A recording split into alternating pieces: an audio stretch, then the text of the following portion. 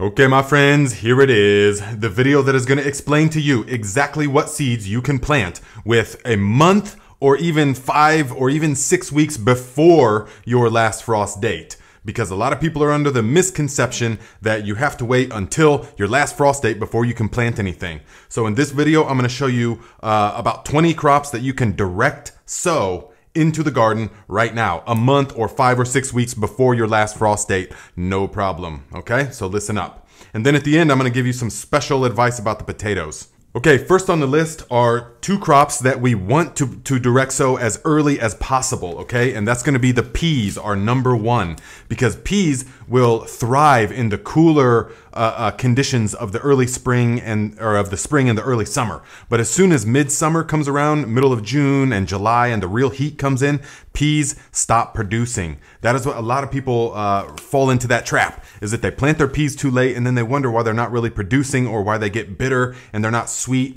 because they need that cool weather. So we plant them right now, about five weeks, give or take, before the last frost date.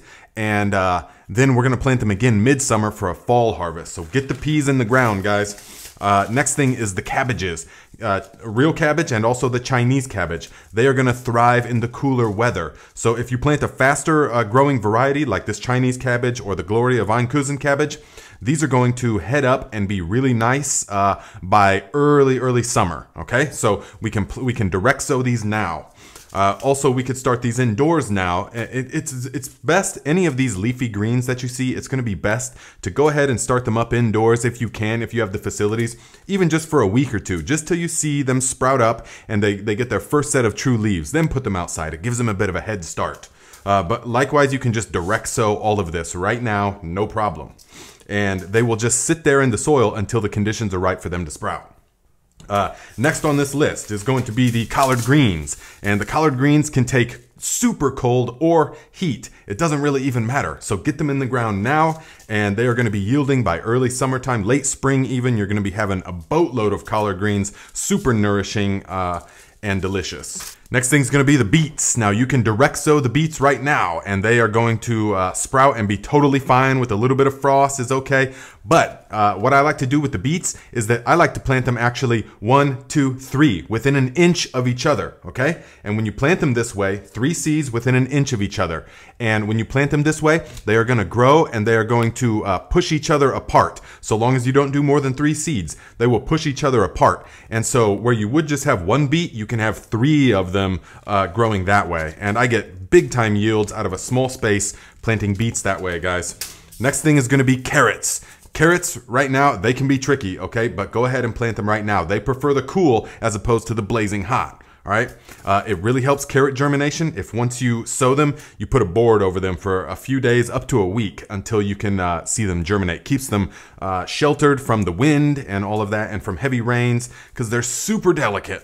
Next on the list is going to be one of my favorite things, guys. Plant the Vulcan Swiss chard, okay? Because even if you're not in so much to the chard taste, although you should be because it's a wonderful spinach-like taste that doesn't bolt during the heat, that's the beauty of Swiss chard. The Vulcan Swiss chard could be an ornamental by itself. And so I have a couple, you only need a couple plants. And so you plant it and the thing grows a stalk on it this thick by, because uh, it's in the beet family. So it grows a thick beet-like stalk uh, by midsummer, and it's just huge. I have people come over and they're like, "What plant is that?" It looks like rhubarb, and they're like, "Wow, it, that looks Jurassic. That plant looks Jurassic." That is the word that they use when they see the Swiss chard, the Vulcan Swiss chard. So go ahead and get planting it. It's a wonderful spinach substitute because it doesn't bolt in the heat. Spinach, as soon as it gets a little bit too hot, a little bit too cold, oh no, we spinach bolts. Swiss chard don't bolt.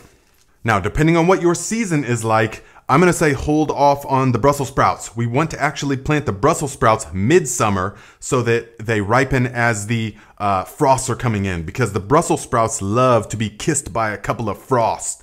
Uh, before so that they can sweeten up. All right. So I'm going to go ahead and say resist spring sowing Brussels sprouts. Unless you just have a very short season, you better get them in. Next thing you can direct sow is the celery, guys. Celery is an awesome thing to be growing and super easy to grow. I recommend starting it up indoors uh, for a few weeks, just till it sprouts at least, but I've direct sowed it multiple times and it works. It needs a mellow soil though, so you have to really rake it out and it has to be real nice and soft and flat because the seeds and the sprouts are super tiny. I mean, just they're like a human hair at first. They're just really, really tiny, blowing in the wind almost. Uh, so they're really delicate, but you can do it totally. And uh, once they're established, though, they're very hardy and uh, they work awesome. I juice these all summer long, lots of celery.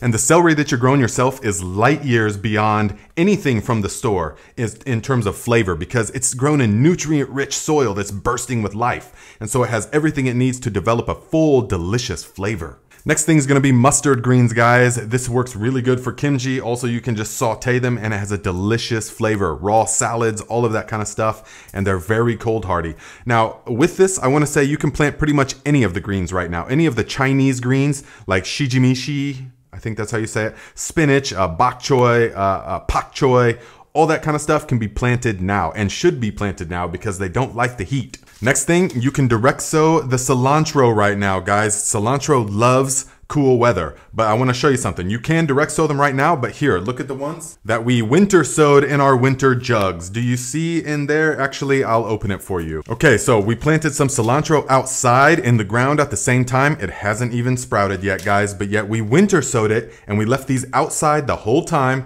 And look, it is nice and healthy and vibrant. And I'm gonna make a uh, short or a reel and post it to the Instagram account that um, shows you guys exactly how to plant this, okay? But look, weeks before what we did in the ground. Although you can direct sow it now, winter sowing's the way to go for things like this. Also, go ahead and plant the green onion seeds right now and harden off your regular onions and go ahead and plant them outside anytime right now. Next thing's gonna be a couple of oddballs. So the parsley, guys, go ahead and get the parsley started. Like this uh, celery, it's wonderful for juicing, okay? We can make delicious V8 type juices with tomatoes and celery and cucumbers and carrots and uh, um, all kinds of good stuff. Lovage, guys, lovage is like a celery uh, in the flavoring, but it gets really tall and you can plant it now. It's a perennial. It just keeps coming back. Uh, so if you like the celery flavor in your soups and stews, this is a perennial type of celery that works really well. Very intensely flavored. You can direct sow it now. Also the echinacea, guys, because it's a wildflower, you can go ahead and direct sow it at any time, really. Uh, although it usually only grows vegetatively its first year and will flower its second year. So uh, go ahead and plant the echinacea. But likewise, you can plant pretty much any of the wildflowers, like the native wildflowers right now. Like a coreopsis, you can sprinkle these out right now and they will just sprout when the time is right. Okay, so you can go ahead and plant all that stuff right now. Another one I'm gonna say is the calendula, guys. Put this stuff out all over the. I love calendula, also called the pot marigold. Um, you can plant these anywhere. Plant them along the sides of your grow bags uh, so that they can grow up and they'll shade out the grow bags from the intense sun, and it works really well.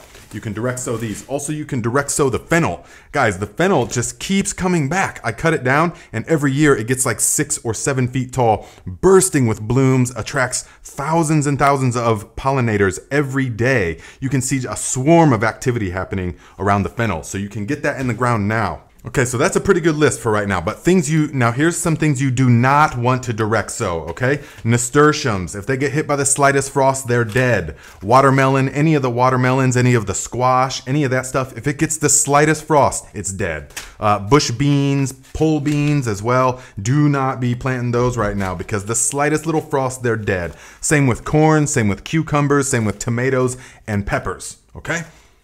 Do not be planting that stuff right now.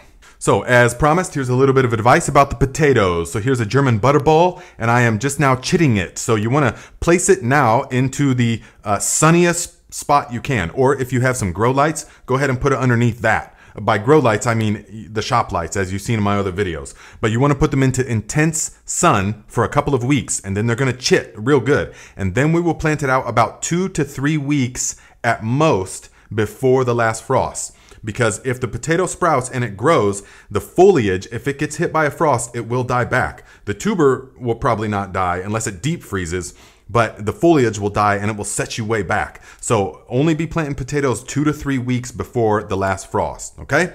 So that's pretty much it, my friends. Hopefully, this answered the questions I've been getting from you guys. Give the video a thumbs up if you feel like you gained something. Consider subscribing to the channel if you want to see more.